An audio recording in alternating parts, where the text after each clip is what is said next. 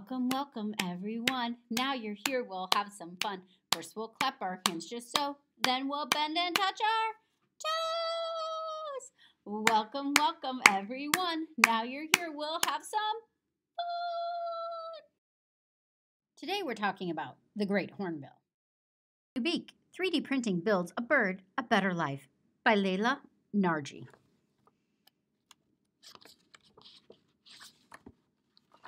In the grassy space he shares with three African antelopes, an Abyssinian ground hornbill named Karl looks for insects and small mammals. He pinches them between the tips of his long curved beak, then he eats them like any normal hornbill would. He tosses them in the air, catches them in his mouth, and swallows them whole. Delicious. But eating a meal wasn't always so easy for Karl. When he first came to the Smithsonian's National Zoo in Washington, D.C., part of his lower beak was worn away. The bone that supported it was too short. This made Karl's beak extra fragile. When Karl used his beak to dig for food, or when he wiped it on a branch to clean it, the beak would chip. Over time, it got shorter and shorter. So Karl had to adapt.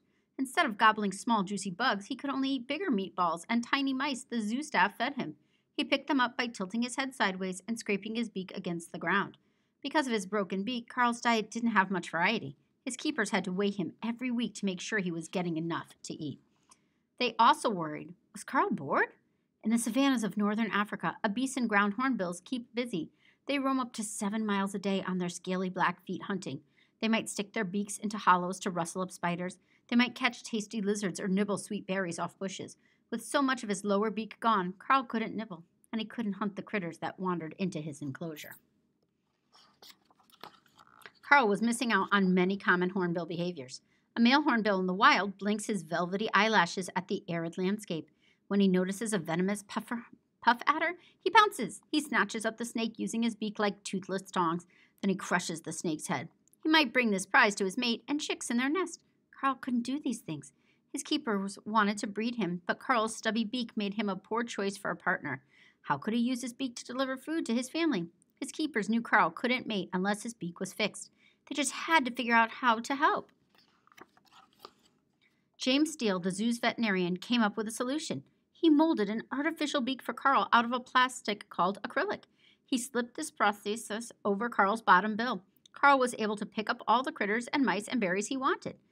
But the hand sculpted beak didn't fit very well, and the acrylic was too heavy. After a few weeks, the prosthesis broke off. James built another one, then another. He built Karl 10 acrylic beaks in two years. None of them worked for long. Then James made a discovery. Across town, the Smithsonian National Museum of Natural History had an old Abyssinian ground hornbill skeleton in its archive. That hornbill had been about Karl's size when it was alive in the 1930s. Could that hornbill skull help the zoo staff make a beak for Karl? Could they use it as a template for a 3D printed prosthesis? It was worth a try. James carefully measured the length, width, and thickness of Karl's beak with a special tool called a caliper. He marked the angle of the beak's curves. Bobby McCusker, the zoo's exhibit specialist, made a computer model of the old hornbill skull. To do this, he put the skull into a 3D scanner. He spun it spun on a turntable. Lasers beamed into its nooks and crannies, taking a picture of it from every which way. When Bobby uploaded this picture into a computer program, he could change it however he wanted. This would be the template for Karl's new prosthesis. Now Bobby had to figure out how to shape the beak there were a lot of challenges. For starters, birds' beaks aren't symmetrical. Bobby adjusted the computer model to get it up to line to get it to line up with Karl's unique bumps. He had to make sure the prosthesis would fit over them. A hornbill's beak has a groove inside it for scooping up drinking water. Bobby knew it was important to match the groove in the prosthesis with the groove in Karl's real beak. Curator Tony Barthel is in charge of caring for Karl and the other animals at the zoo's Cheetah Conservation Station exhibit. New Karl's new beak had to be both strong and light. He helped choose the material to make it. Regular 3D printer plastic bent under pressure. The toughest printer plastic shared, shattered if it was hit too hard. The plastic in between was just right, tough and durable, but flexible too. Now Bobby was ready to print out a prototype. The team used it to experiment with the fit. Assistant curator Gil Myers held Karl while Bobby slid it on his beak. It stuck and puckered in all the wrong places. Bobby made a second prototype, then a third. Each time he tweaked and fiddled some more. After five months of working out the details, Bobby printed a fourth beak. They all held their breath as they slid it onto Karl. Finally, the fit was just right. Now they had to attach it. Assistants held Karl and gave him a medicine to calm him so he wouldn't squirm. Karl needed to be perfectly still so his keepers could attach the beak in the right position. They monitored Karl's heart rate and breathing to make sure he was healthy and safe. While he was calm, they even gave him a nail and feather trim. Then James sanded Karl's bill to smooth it. This would help the prosthesis stick. He marked it with a pencil to show how far up the prosthesis should slide. James squeezed on glue and attached the prosthesis. Gil held it in place until the glue set. Then James filled in gaps with more glue. Thirty minutes later, Karl had a new beak. The question now was would it work? Back in his enclosure, Karl rubbed his beak against a branch like he was trying to scrape it off. But when he saw a meatball to eat, Karl nibbled it right up without tilting his head. The beak worked! Still, it isn't quite perfect. Karl's beak has to be glued back on every few months, but he doesn't seem to mind. Karl spends his days wandering around the antelopes as he hunts for mice and mealworms and crickets. Karl can eat whatever he wants now, just the way a hornbill should. He also calls out looking for other hornbills. Thanks to his handy new beak, Karl is ready to meet a mate.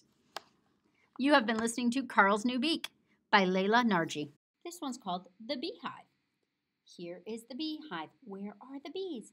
Hidden away where nobody sees. Watch as they fly out of their hive. One, two, three, four, five.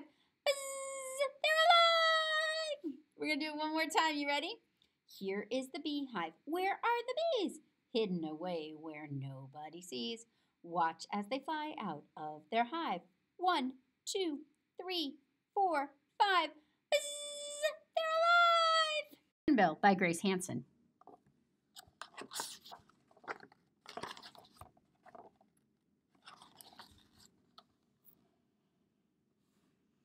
Great hornbills are found in Nepal, India, and a few other countries. They mainly live in tall, wet, evergreen forests. Great hornbills are large birds. They can grow up to 50 inches long. They are the heaviest hornbill species. A great hornbill's wingspan can be 60 inches long. The flapping of its wings can be heard from far away. Great hornbills have black, white, and yellow feathers. They have a solid black band on their white tails. The bird got its name for the great casque that sits on its bill. A female's casque and bill are almost entirely yellow. A male's casque and bill are orange, white, black, and yellow. Fruit is the great hornbill's favorite food. The bird also eats small mammals, reptiles, and insects. Great hornbills are social. They can be found in pairs. They also live in small family groups and smaller flocks. Before a female lays her eggs, she finds a hollow tree. She builds a nest in its trunk. Then she seals herself inside using mud and dung. The male feeds the female through the hole. She does not come out of the tree until her chicks have feathers. More facts. Great hornbills lay one to two eggs at a time. They, the giant casque helps a great hornbill make louder noises. The bird's casque looks heavy, but it is actually very light. Glossary Casque. on hornbills, the horny helmet like growth that sits above the beak. Hollow, having an empty space on the inside. Social, living in groups instead of alone. Species, a group of living things that looks much that look much alike and can have young ones with one another, but not with those of other groups. Wingspan, the distance from the tip of one wing to the tip of the other. You have been listening to Great Hornbill by Grace Hansen. Thanks for joining us for today's Animal Explorers Hornbill. We began our journey today with the moving true life story of Karl's New Beak by Lela Nargi, published by Capstone, and we got to learn how uh, workers at the Smithsonian built a new beak for this animal so he could return to a normal life and wouldn't continue to be damaged every time he tried to eat. Can you imagine that your mouth starts to fall away every time you eat? And how cool is it that they worked so hard to get him a new mouth? Then we read Great Hornbill by Grace Hansen, published by Abdo, and we got to learn all sorts of cool real life facts about this type of bird that is usually found in Asia.